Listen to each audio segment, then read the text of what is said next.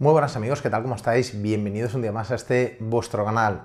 Segundo vídeo del día de hoy, o tercero o cuarto, ya no sé, uno más.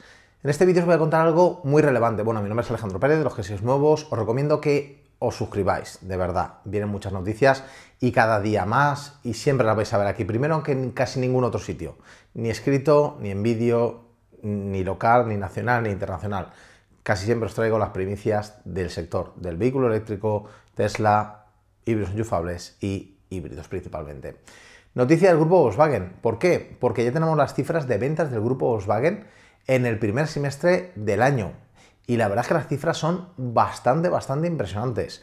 Volkswagen está consiguiendo un volumen de ventas muy relevante y muy a tener en cuenta, sobre todo porque el ID4, que es su vehículo estrella ahora mismo y el que más vende, prácticamente se ha empezado a entregar, tanto en Estados Unidos como en Europa, en el segundo trimestre de este año 2021. Las unidades empezaron a llegar algunas de pruebas durante el primer trimestre del año 2021, pero el grosso de entregas fue el segundo eh, trimestre de este año 2021. Y aún así las cifras eh, a nivel global de Volkswagen están siendo muy buenas. Y os lo quiero contar y compartir con vosotros para que veáis el volumen.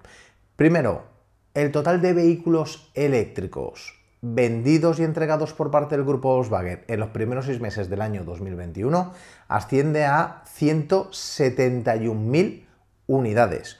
Una cifra muy buena y a la que hay que sumar nuevos vehículos que prácticamente están empezando a entregarse ahora dentro del grupo Volkswagen, como Skoda, Audi e-tron GT y muchos otros que no aparecen en estas estadísticas. Por lo tanto, la segunda parte del año van a ser muy importantes. El Audi Q4 e-tron ha empezado a entregarse ahora también y muchos Skoda también están empezando a entregar ahora, por lo tanto el volumen de final de año va a ser muy importante. ¿En qué posiciones quedan? Volkswagen ID4, el modelo más vendido durante el primer semestre del año 2021 para el grupo Volkswagen, ha alcanzado 37.292 unidades. Volkswagen ID3, 31.177 unidades.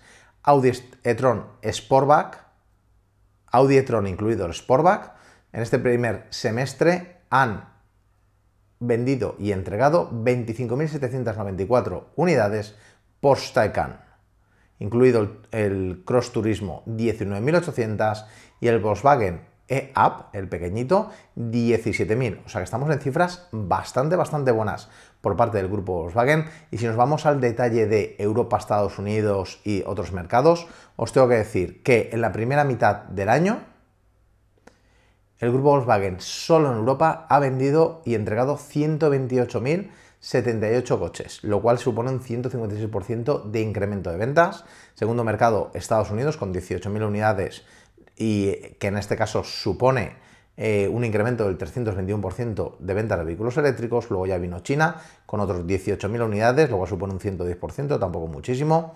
Y luego eh, el resto del mundo con 6.000 unidades, que eh, porcentualmente es un 335%, pero donde ya no es tan relevante. Así que, muy interesante, porque Volkswagen va pasito a pasito construyendo fábricas, adaptando fábricas de vehículos de combustión a vehículos eléctricos y entregándonos cada vez más vehículos eléctricos y mejorándolos.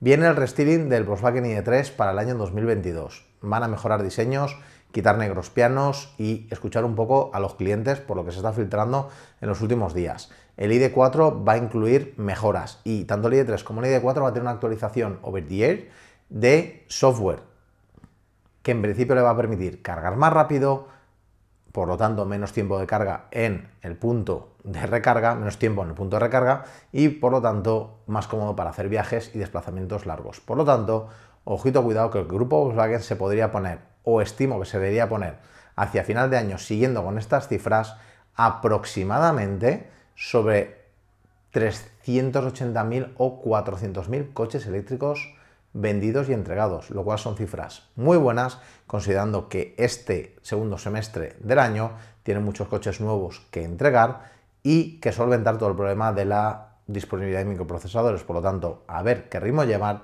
y si de verdad son capaces de entregar tal volumen que para ser prácticamente su primer año con la familia ID, completo, porque el año pasado el ID3 tuvo muchos problemas, aunque se vendieron bastante, pero tuvo muchos problemas, el primer año completo con un sub y un compacto 100% eléctrico y con las familias satélite creciendo a la vez, son cifras bastante buenas y que sin duda para mí es lo que están haciendo que Toyota mueva tantas piezas en los últimos días que os he estado contando en otros vídeos. Así que ya sabéis, amigo, espero que este vídeo sea resultado de interés. Si queréis estar al tanto de estas noticias, os recuerdo suscribiros, dar a la campanita para recibir todas las notificaciones y nos vemos en el próximo vídeo. Mi nombre, Alejandro Pérez. Que tengáis un excepcional día. Chao, chao.